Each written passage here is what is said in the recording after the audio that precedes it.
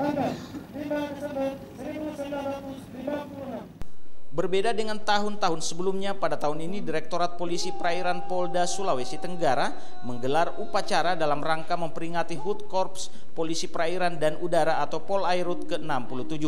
Upacara dilaksanakan di dermaga Pelabuhan Nusantara Kendari dan bertindak sebagai inspektur upacara adalah Wakil Kepala Kepolisian Daerah Sulawesi Tenggara, Komisaris Besar Polisi Winarto.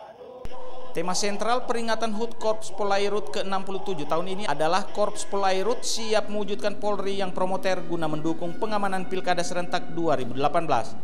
Dalam sambutan Kapolri yang dibacakan Wakapolda Sulawesi Tenggara mengatakan, Korps Polairut harus benar-benar sinergi dengan institusi lain di luar Polri demi menjaga situasi keamanan yang kondusif di dalam negeri. Apalagi di tahun mendatang akan ada perhelatan pesta demokrasi yakni Pilkada serentak, Korps Polairut harus membantu melaksanakan pengamanan. Tidak hanya itu, di hari ulang tahun ke-67 ini menjadi momentum Korps Polairut semakin profesional dan modern. Pasalnya, Korps Polairut memegang peranan penting dalam mendukung pemberantasan kejahatan kesehatan baik di air dan udara.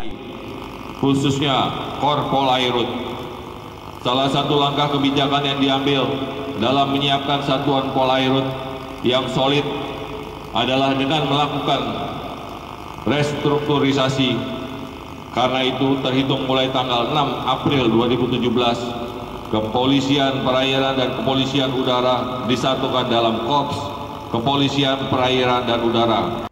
Usai upacara kemudian dilanjutkan dengan acara syukuran yang dirangkaikan dengan pemberian penghargaan berupa Bayangkara Bahari kepada Kapolda dan Wakapolda Sulawesi Tenggara, Kepala BNNP Sulawesi Tenggara, serta beberapa pejabat utama Polda Sulawesi Tenggara. Yusnandar, Kompas TV, Kendari, Sulawesi Tenggara.